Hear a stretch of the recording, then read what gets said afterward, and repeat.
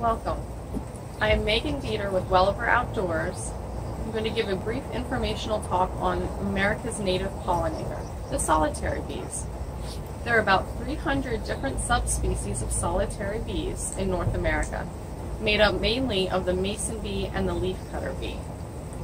These bees are solitary, so they only live for one year, and they don't have a hive, they don't have a queen, and they don't make honey, but they can pollinate 10 times more than honeybees, making them essential to the crop and food production in North America. Female mason bees will lay eggs in cavities. They look for something like a bug born an old log, or a woodpecker hole, or a hollow reed. The Welliver mason bee house imitates these cavities with replaceable corrugated tubes, sized for the mason bees. Female mason bees will lay eggs in these tubes. They create cells by putting a nectar pollen packet in, laying the egg, and then creating a mud wall. This is where they get the term mason. They are not carpenter bees. They cannot excavate their own holes, so they do not pose a problem to your woodwork. Each tube in the house will fit about six eggs. When she gets to the end of the tube, she'll cap it with a mud plug. After the, the nesting season, the females will die off. The eggs hatch into larvae and eat up the nectar packet over the summer, and then they cocoon up for the winter when they morph into their adult forms. The following spring, they come out of dormancy at different temperature ranges. The mason bees come out when temperatures are 50 to 55 degrees.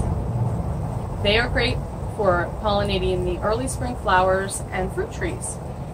Leaf cutter bees emerge when temperatures is 70 to 75 degrees.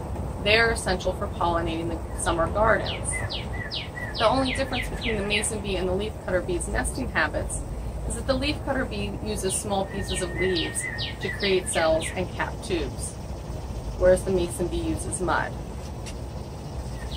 Once the bees emerge in the spring, the Welliver house utilizes the replaceable corrugated tubes, so you're able to throw away the used tube and replace it with a fresh tube. This is essential for the health of the colony as it prevents any mite infestations from getting in there and decimating the bees by providing them a fresh nesting area every year. The Welliver Mason Bee House can be placed on a wood pile where the bees will be naturally looking to nest, or in a garden with the, the exposed tubes facing away from any prevailing winds. In the winter, it can be brought into an unheated garage or shed, but it is essential it remains cold over the winter to, to trigger dormancy and then the emergence the following year. Mason bees are a very easy, low maintenance, low cost alternative to help increase pollination in the area. They are essential for North America's pollination. Thank you.